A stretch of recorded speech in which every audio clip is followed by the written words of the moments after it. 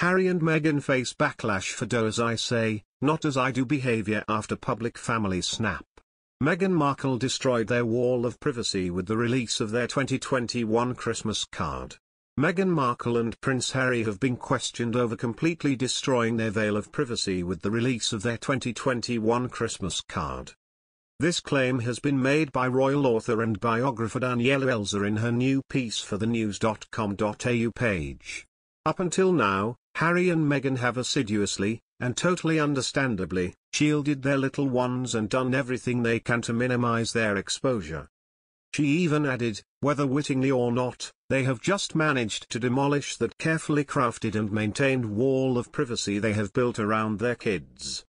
Plus, with Meghan now being a civilian, Ms. Elser believes she had no point in putting out a Christmas card at all. It is incredibly hard here to draw any conclusion, but that they must know what 24 carat PR this photo of the four of them represents and the incredible power and potency of this image of them as a damn near perfect modern family. Before concluding though she admitted, no matter what your views might be on Megxit or their decision to air all the royal family's dirty laundry on TV or to write a memoir or get chickens or get into bed with corporate giant after corporate giant, what is undeniable is that their new vitamin D dappled lives clearly suit them perfectly. Meghan Markle and Kate, Duchess of Cambridge got stuck in at Christmas after reports there was a rift between the pair, an unearthed account claims. In years gone by both royal women would have spent Christmas Day at Sandringham with the Queen in England. The royals' annual gathering at the monarch's country estate in Norfolk was cancelled this year because of COVID-19. The Queen's decision to axe her Sandringham plans came as cases of the virus have continued to soar across the UK this week due to the Omicron variant. When Christmas was held at Sandringham three years ago, Meghan and Kate got stuck in over a board game, an unearthed account claims. A royal insider told The Sun the meeting saw the pair heal their so-called rift, which had been reported in the media at the time.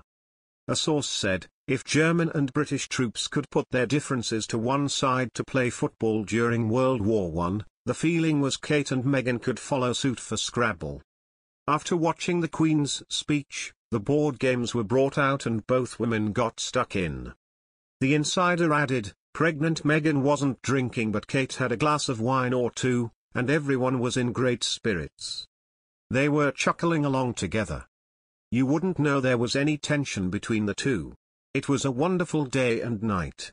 In a rare statement in 2018, Kensington Palace spoke out on Meghan and Kate's relationship. A spokesperson denied reports the two had argued in the run-up to Meghan and Harry's wedding that year. They said, this never happened. Meghan also addressed reports about the relationship during her and Harry's dramatic interview with Oprah Winfrey earlier this year. The two-hour sit-down conversation with the US chat show host was broadcast on CBS and ITV in March.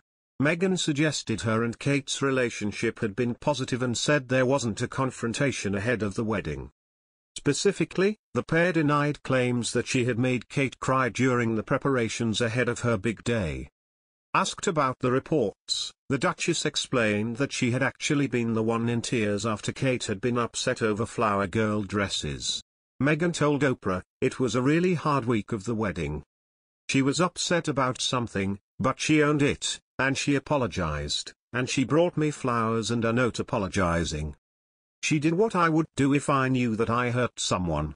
To just take accountability for it.